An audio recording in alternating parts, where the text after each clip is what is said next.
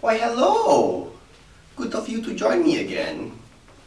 Hey there, everybody. Um, today, topic will be about balance.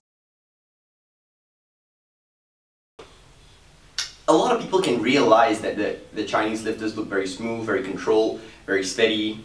Yeah, take a pick of whatever terms you want to use. But let's look beyond that and looks, let's look into why it happens, why they're so steady and smooth and com comfortable looking. Um, you know how a lot of people say that you need to pull the bar towards you, shift the weight to the heels and then extend up, or this, just things like that. Now, amongst the Chinese, I have never heard of this. Never. I've never heard of them saying, push your knees back. I've never heard of all these kind of things. All I heard about was to keep my legs strong, my lower back working. Just two things. Now, if you take a look at Lu Xiaojun,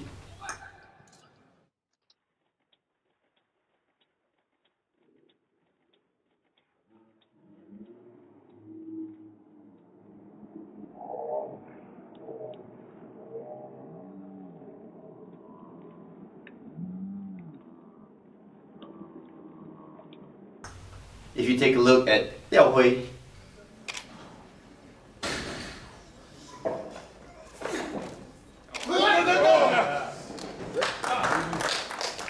Shi the young one, which is just recently competed.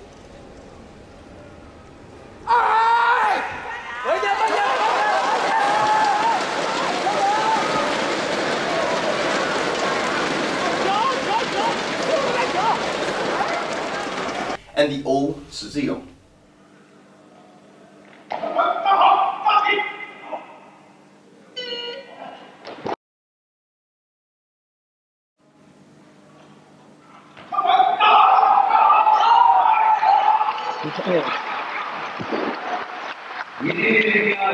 They all have their own styles. Lu Xiaojun looks very smooth, very uh, almost relaxed, almost lazy.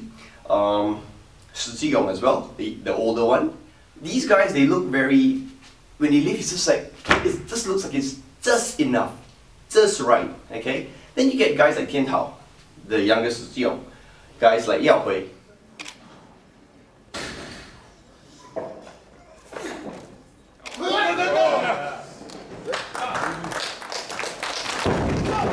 who look a little bit more aggressive. They look a little bit harder when they live. In fact, my old coach, uh, Coach Wu Chuan Fu, great guy. If you're in Singapore, if you're going out of Singapore, you got to look for him for some help.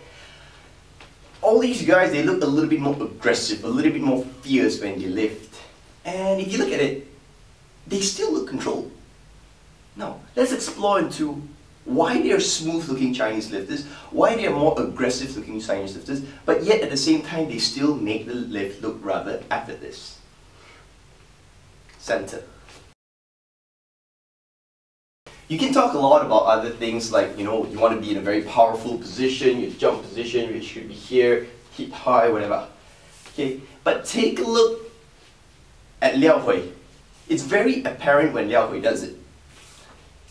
He lifts it here, and right about here, he just shoves his knee. He doesn't shove it, he's just actually just pulling. And the knee just happens to be here. Okay, this gives him ample power to use the power of the legs. Just go. Ugh.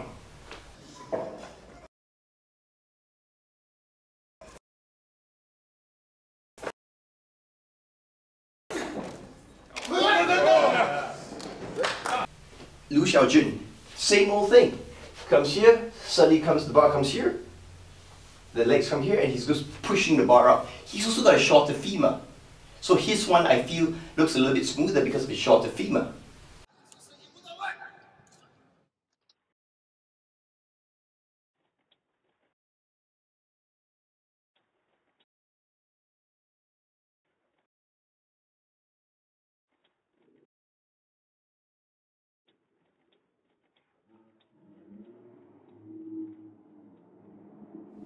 a lot of these lifters, they they just stay in center. Everything they do, they just stay within that center of gravity. That's the center of mass, that's it. They play within that region. And as long as they're not exceeding that center of mass and make themselves feel unstable, they can create whatever technique they want to do. In fact, look at Daniel Godelli.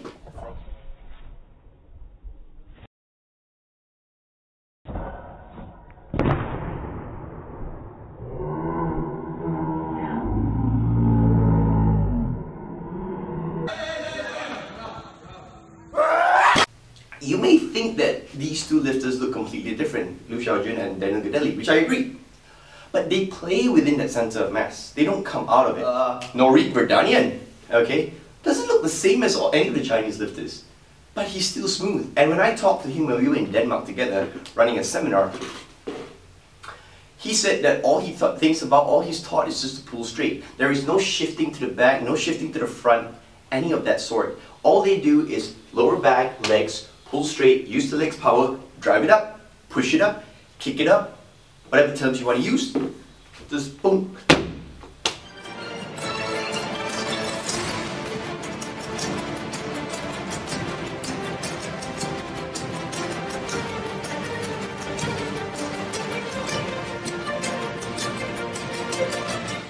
That's it.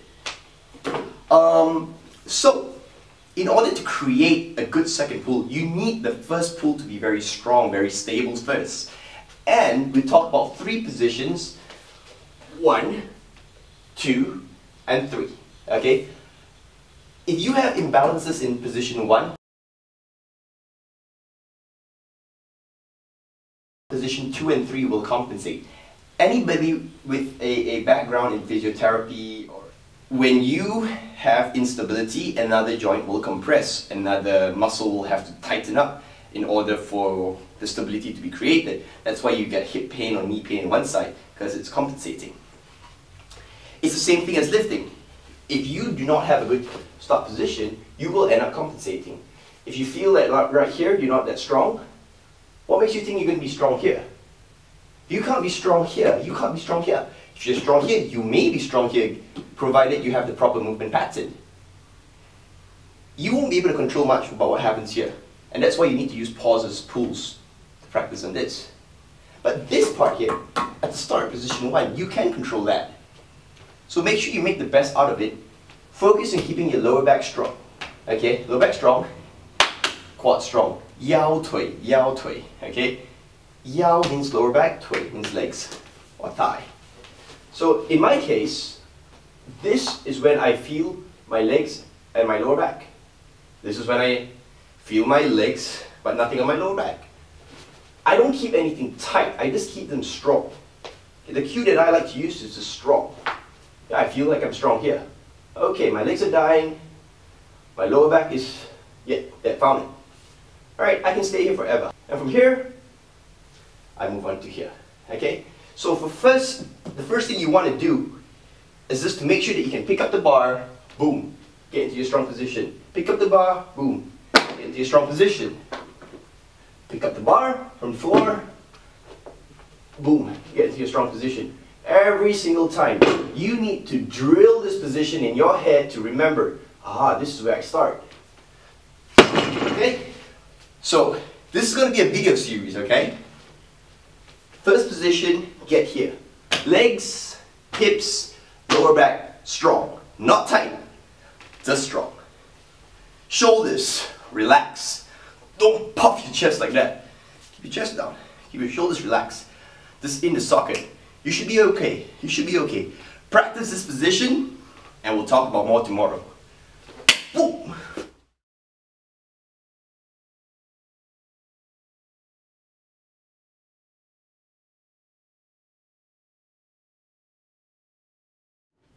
I find that this has probably something to do with the way the spine is built. Our lumbar is straight. The thorax and the cervical part of your spine isn't exactly straight. So by artificially trying to puff the chest up, you may be getting a straight thorax region of your spine, but the lower back doesn't necessarily stay straight anymore. Some people it begins to hyperextend like me.